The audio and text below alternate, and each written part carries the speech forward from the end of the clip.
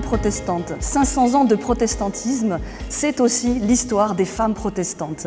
Quelle a été leur place, quel a été leur rôle dans l'Église, mais aussi plus largement dans les sociétés. Alors c'est difficile de partir à la recherche de l'histoire de ces femmes, parce que souvent l'histoire a été écrite par des hommes, au sujet des hommes. Et pourtant, nous avons cette mosaïque de portraits de femmes protestantes, anonymes, inconnues, mais qui ont joué un grand rôle dans la propagation de ces idées de la réforme. Et je vous propose donc de partir à la découverte de ces femmes protestantes. Quel a été le rôle de ces femmes pendant la réforme? Eh bien, pour euh, avoir une idée, on peut notamment écouter ce que les critiques de la réforme protestante ont dit. Et ainsi, en 1705, on a quelqu'un qui les accuse en disant Les femmes sont les trompettes de votre évangile. Ce qui veut dire que c'était les femmes aussi qui diffusaient, qui prêchaient, qui propageaient ces idées de la réforme. Et c'est notamment grâce à elles que euh, depuis l'Allemagne, ça a gagné l'Europe et ensuite le monde entier, et qu'on a aujourd'hui des protestantes dans le monde entier. Il est incontestable que la réforme a aidé à promouvoir la condition féminine. Le bouleversement ecclésial introduit par la réforme a eu aussi en fait des conséquences sociétales. Et donc c'est la réforme qui a notamment permis une plus grande place de la femme, notamment dans l'Église, mais aussi dans les sociétés. Alors c'est vrai que les réformateurs eux-mêmes, au XVIe siècle, n'étaient pas forcément euh, euh, des féministes, et il y a même quelques remarques très sexistes de leur part, ils étaient les fruits de leur époque. Mais on pourrait dire que l'arbre est dans la graine. Dans l'enseignement qu'ils ont donné, notamment par un retour à l'écriture, ils ont permis cette place plus grande donnée aux femmes.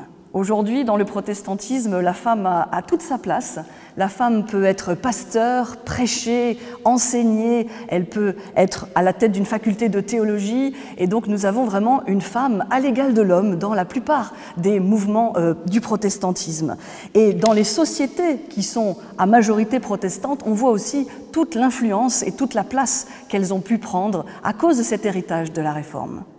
Quelles ont été les avancées euh, pour les femmes, pour la condition féminine suite à la réforme. On peut en identifier quatre principales.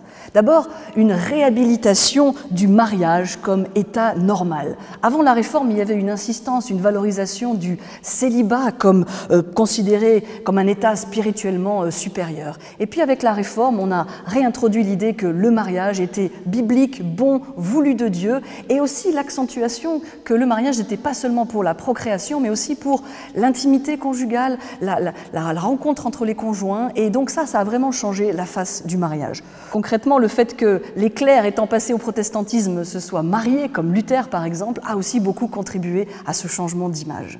Le deuxième apport, c'est la reconnaissance des mêmes droits pour les hommes comme pour les femmes en ce qui concerne le divorce. Et ça, ça a vraiment aussi changé euh, la condition féminine.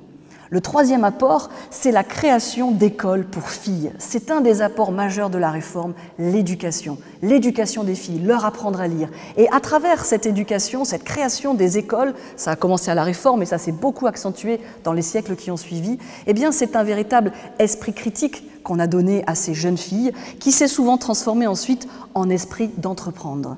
Et on va dire que cette éducation des femmes, qui a souvent été un combat, a permis ensuite qu'elles prennent davantage leur place dans l'Église et dans la société. Donc les églises de la Réforme ont particulièrement contribué à cet effort euh, d'éducation. Le quatrième apport majeur pour la réforme, c'est l'accès au pastorat, c'est-à-dire que les femmes puissent elles aussi devenir pasteurs. Ce n'était pas tellement à l'époque des, réformateurs, même si leur épouse était très présente à leur côté et, aussi dans la propagation des idées de la réforme, mais c'était plutôt dans la suite que les femmes ont pu euh, prendre cette place aussi du pastorat. C'est un des aspects peut-être les plus visibles quand on compare euh, les différentes religions, quand on va à une rencontre interreligieuse, c'est que du côté des protestants, il y a des femmes, des femmes pasteurs et des femmes en position d'autorité. Alors c'est avec le temps que cette situation s'est officialisée. On peut dire, par exemple, pour parler de la situation française, eh bien, la première femme pasteur, Madeleine Blocher-Sayens, est une protestante baptiste et elle était elle-même fille petite fille, épouse de pasteur, ce qui a sans doute aussi euh, favorisé, facilité, on va, dire, son accession au ministère. Son père est assez connu puisque c'est lui qui avait écrit la Cévenole, qui est un petit peu la Marseillaise des protestants, qui est chantée à chaque belle occasion. Et donc, lorsque son mari, qui était pasteur, décède, eh l'Église baptiste de Paris lui confie à elle le ministère pastoral. C'est elle la première en France. Ensuite, du côté réformé, eh bien, c'est une femme de la région, Madame Schmitt, Mademoiselle Schmitt, qui sera pasteur, reconnue pasteur, et on est en 1949 pour situer, dites-vous que le droit de vote aux femmes en France, c'est 1944. Donc vous voyez que ça correspond aussi aux grandes évolutions de la société. On voit donc une certaine continuité entre ces premières femmes qui prêchaient lors des assemblées clandestines ou bien qui prophétisaient comme Isabeau Vincent dans la Drôme, et puis aujourd'hui ces femmes pasteurs qui prêchent, qui sont professeurs de théologie, doyennes de faculté, et donc on voit cette continuité, on va dire, dans cette euh, place particulière, privilégiée accordée aux femmes dans le protestantisme. mesma. Souvent, les femmes protestantes sont des militantes, et c'est vrai que particulièrement au XXe siècle, on va trouver des femmes protestantes militantes pour les droits des femmes dans la société. On les avait rencontrées déjà à l'époque de la demande du droit de vote, et on va aussi les retrouver notamment au planning familial ou pour militer pour mieux faire connaître la contraception. Et donc, ça n'est pas étonnant que c'est par exemple dans des pays à majorité protestante, luthérienne, scandinave, que le droit de vote va être le premier accordé aux femmes. Sont les grandes héroïnes parmi les femmes protestantes Alors nous n'avons pas de saints ou de saintes parmi les protestants, euh, mais on a des grands personnages, des grandes figures féminines qui vraiment inspirent encore aujourd'hui euh, les protestantes. Alors au XVIe siècle, ce sont plutôt des pionnières. Dès les débuts de la Réforme, des femmes de toutes conditions embrassent ces idées nouvelles, depuis les couvents ou les cours royales. Alors au XVIe siècle, on connaît surtout les femmes des réformateurs, comme Madame Luther, Catherine de Bord, Madame Calvin, Idelette de Bure ou Madame Zwingli. Et c'est vrai qu'elles furent de solides soutiens à leur mari et à la propagation des idées de la réforme. Mais il y a aussi des femmes peut-être moins connues et qui ont pourtant joué un rôle clé, notamment par exemple à Strasbourg, quand Katharina Zellschutz a permis, on va dire, a été la cheville ouvrière, la clé de voûte de la réforme à Strasbourg ou bien Marie Dantière, une des rares femmes à être sur le mur des réformateurs à Genève, sur ce mur qui célèbre les grandes figures de la réforme, on ne trouve que des hommes.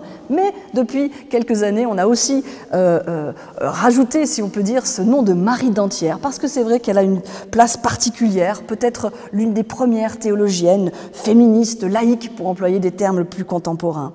Elle était prieure dans un couvent, elle se convertit aux idées de la réforme, et puis elle épouse un réformateur et publie un livre qui va être censuré, interdit très vite, parce qu'il encourage justement à ce que la femme prenne davantage de place.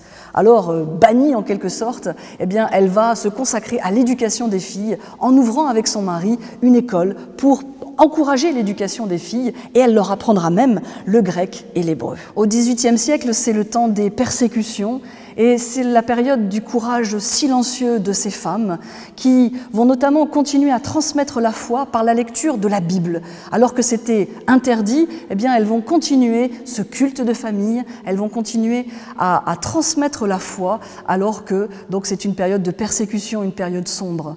Si les hommes sont envoyés aux galères, les femmes, elles, sont envoyées en prison. Et c'est notamment le témoignage de Marie Durand, enfermée à Aigues-Mortes pendant 38 ans pour sa foi avec cette pression quotidienne journalière d'abjurer sa foi et ce témoignage de fidélité à sa foi et à la foi ici de ses ancêtres.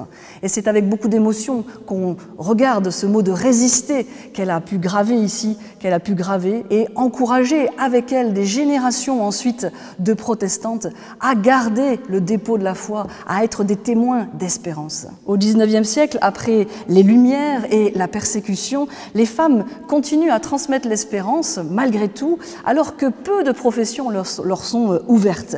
On les retrouve donc nombreuses pour partir en mission.